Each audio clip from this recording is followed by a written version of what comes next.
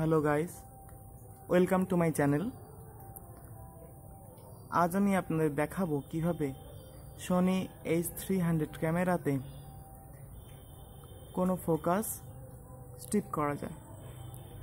অনেক রিকোয়েস্ট আসছিল, তাই এই ভিডিওটা বানালাম। আশা করি সবার ভালো লাগবে। তো সবাই দেখতে পাচ্ছেন, সবাই দেখতে পাচ্ছেন? এখানে আমার Sony H three hand camera twenty point one megapixel camera এটাকে আমি অন করলাম। এবারে দেখুন, আপনারা পরিষ্কার দেখতে পাচ্ছেন, এটা অটোমোডে আছে। এবারে যেটা আজকের জিনিস, সেটা হলো কীভাবে এটাকে লক করব।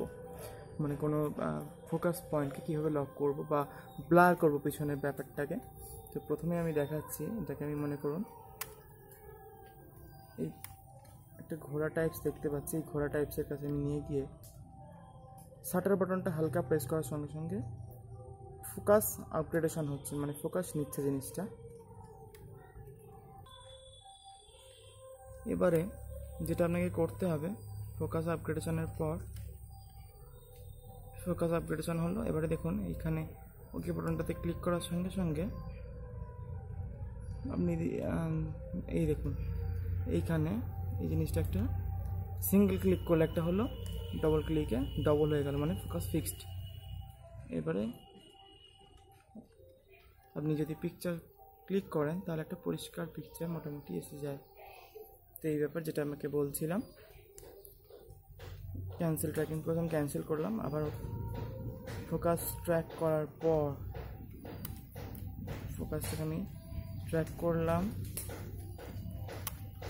দেখুন ফোকাস ট্র্যাক হলো এরপরে single button focus focus locked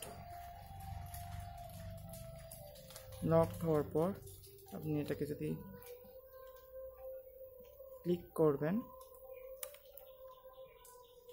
দেখুন।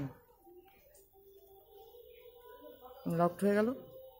ছবিটা তোলার সঙ্গে সঙ্গে দেখুন কি দুর্দান্ত ছবি এসছে। তো এইভাবেই আপনারা